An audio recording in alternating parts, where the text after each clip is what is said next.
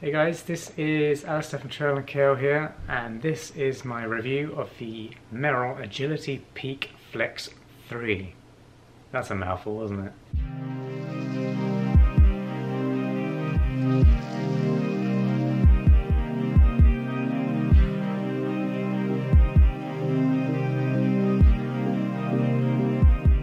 So firstly, this shoe is really cushioned. Um, and it feels so comfortable.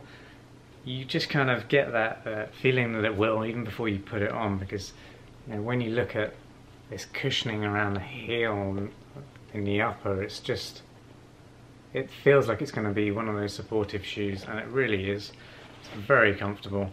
You definitely won't uh, have to break this shoe in at all. It will feel great right off the bat. The shoe itself is pretty flexible not too bad there. Uh, flexing pretty much at the forefoot.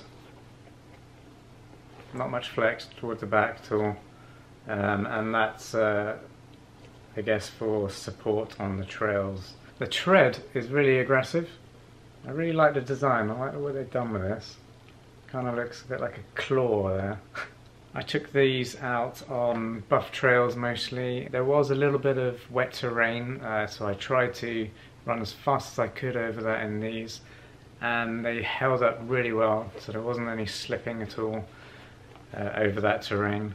So I felt really confident in my control whilst running over technical bits of terrain. There's something uh, I really love about these shoes, and it's something I noticed on the Agility Peak Flex two shoes as well. And that is Merrell's OmniFit lacing system. What that is you see these sort of fabric stretchy loops here that uh, hold the laces together. Easier to see here.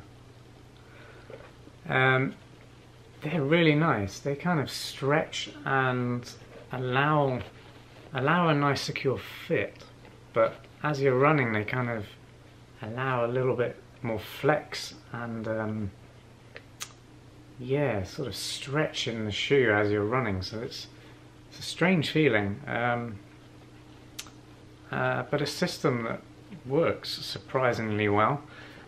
Um, it allows you to get a very fine adjustment fit as well. That's really cool. I love it and that probably contributes to the comfort in this shoe. So this shoe isn't um, isn't a super breathable shoe, so these I imagine would be excellent for those slightly cooler runs. Um, maybe not on a really hot summer's day because uh, not too much air can pass through the upper. Um, uh, similarly, that makes these shoes not drain off water particularly well. So I would stick to running in these in drier weather. Yeah, the um, midsole in this shoe too is really cushioned, gives a very comfortable ride. And if you ever find yourself on asphalt when you're trying to get to a trailhead, for example, or maybe you're in the middle of a race and uh, you've got this rate road section, um, it can be really frustrating if you've got a minimal shoe and have to run over that terrain in it. So with this shoe, these are super comfortable on roads as well, and any really hard terrain. Uh, the toe cap in here, it's hard along this point here, and as in reinforced here, but on top, it's uh, it's not a reinforced toe cap. That's fine. Not every trail shoe will have a reinforced toe cap, but just so you know. The drop in the shoe is 6 millimeters and the shoe itself weighs 314 grams, I believe it is.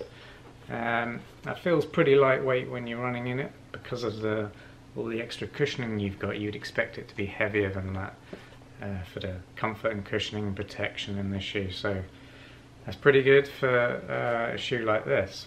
314 grams, perfect. So yeah, I'm really enjoying running in the Merrell Agility Peak Flex 3 and it's a definite improvement over version 2 so great job Merrell love what you've done with this shoe well I hope you've enjoyed my review of the Merrell Agility Peak Flex 3 and uh, please consider subscribing to our YouTube channel.